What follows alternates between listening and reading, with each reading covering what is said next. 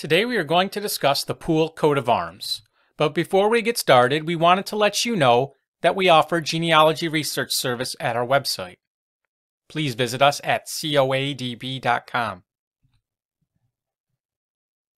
We're going to discuss coats of arms in the Pool family, spelled several different ways P O O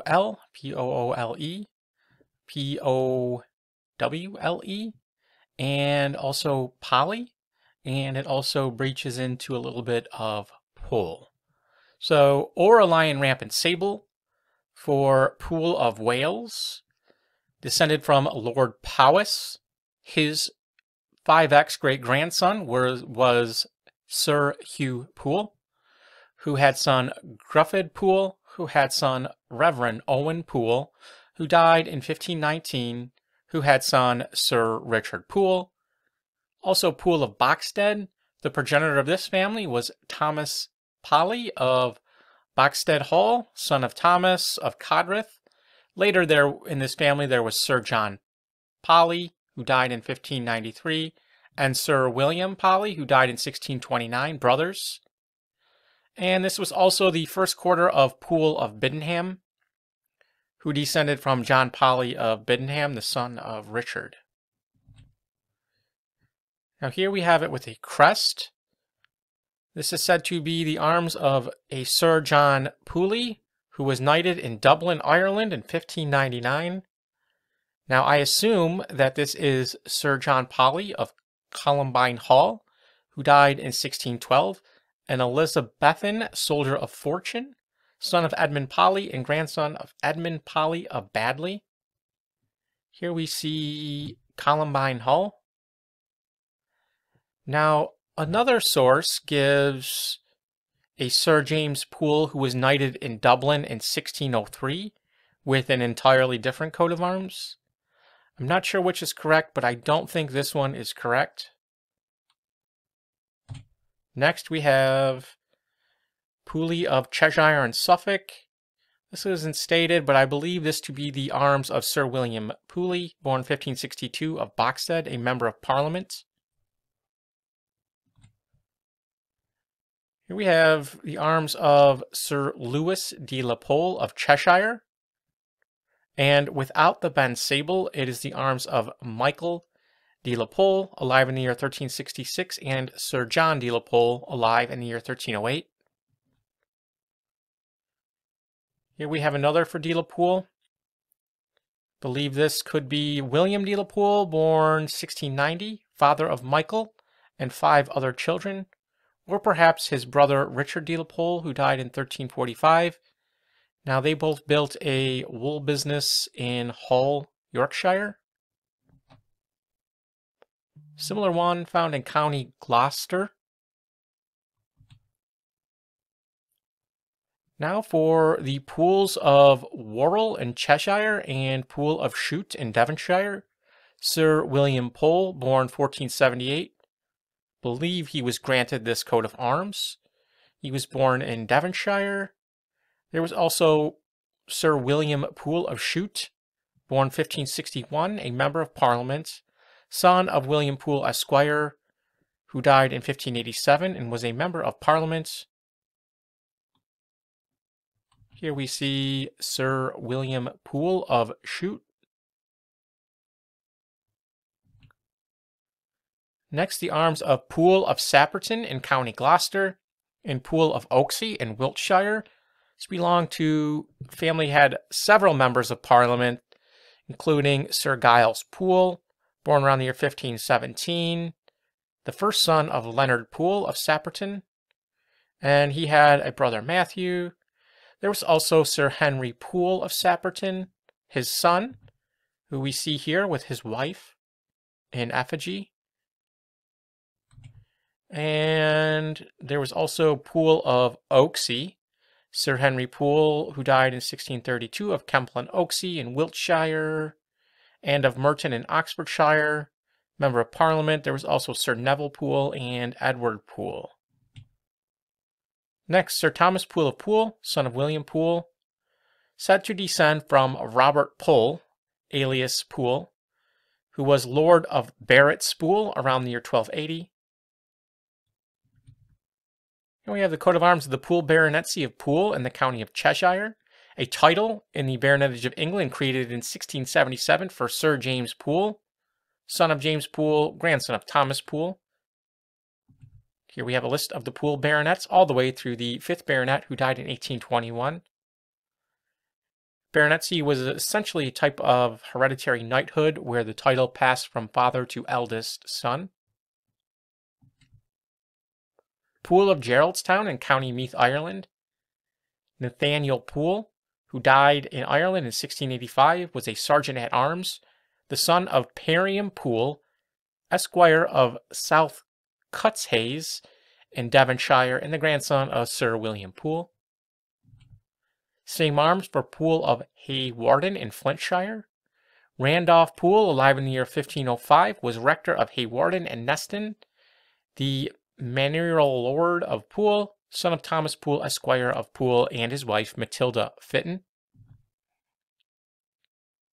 Poole of New Shoreham in Sussex. Now, this has two different crests that are very similar. It was granted in 1648 to Captain Richard Poole, the son of Thomas Poole and the grandson of Captain Richard Poole, who died in the year 1652.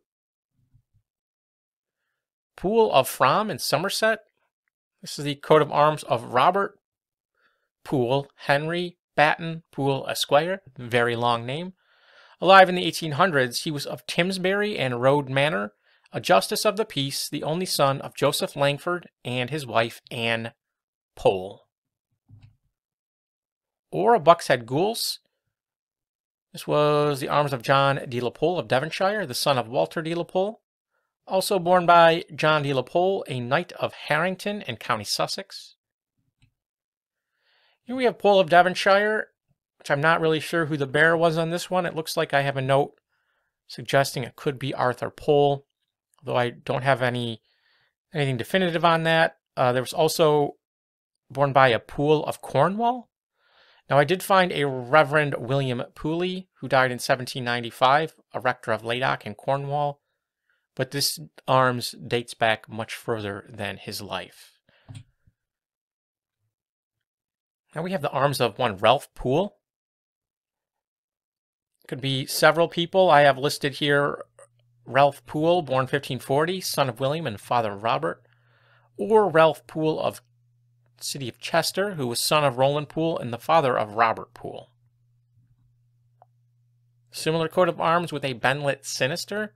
Wasn't able to find the armature on this one.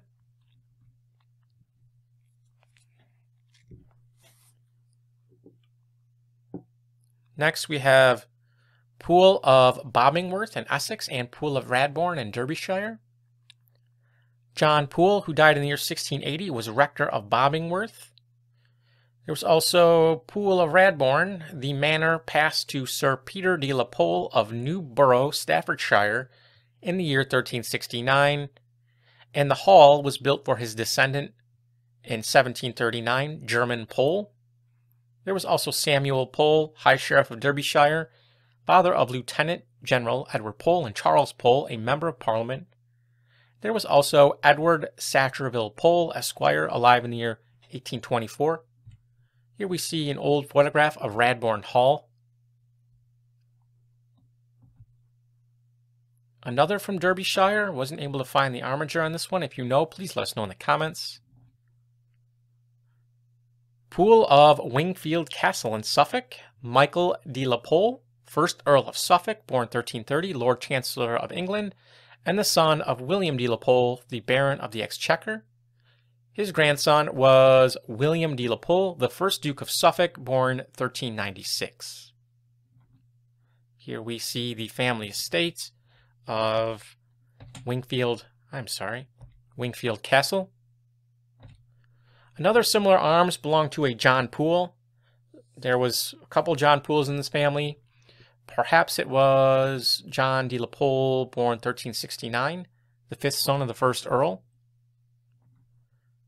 One in Yorkshire, where the leopard's faces are argent. I wasn't able to find this one. If you know, please let us know in the comments. or Two Bars Wavy Azure for Nicholas Pole of Norfolk, also Sir Richard de la Pole, Sir Walter de la Pole of Darnford and Cambridgeshire, who was a member of Parliament, and also a Sir John Pole.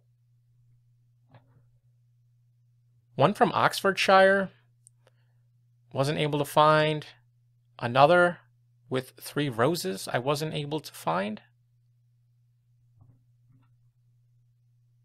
Henry Poole, died in the year 1539, was created Baron Montague in 1514. He was the son of Sir Richard Pole, landowner in Buckinghamshire, and the grandson of Geoffrey Pole, Esquire of Wirral in Cheshire. Here we have the arms of David Poole, who died in 1568. He was Bishop of Peterborough. Poole of Bristol, not entirely sure on this one, but I believe it to be the arms of Chauncey Poole, Esquire of Bristol, born 1720. Here we find a coat of arms that was also in the quarterly arms of Poole of Biddenham. And I have a note here that is very similar to the arms of Ralph Polly, Knight of Hertfordshire, alive in the year 1378, whose likely son Thomas held Codreth. Poole of Waltham in Essex and Poole of Alford in Essex, granted in 1569. Wasn't able to find exactly who it was, but two of my best assertions are William Poole of Pinest in Waltham Abbey, alive in the year 1600, and Thomas Powell, born 1513, who was clerk of the Chancery. And lastly, Poole of the Homend in Stretton, Grandison, Herefordshire. Richard Poole purchased and extended the estate in 1703. He was the son of Reverend James Poole, born 1649, canon of Hereford and vicar of Stretton. And if you enjoyed this video, please visit us at coadb.com, link in the description. Thank you very much.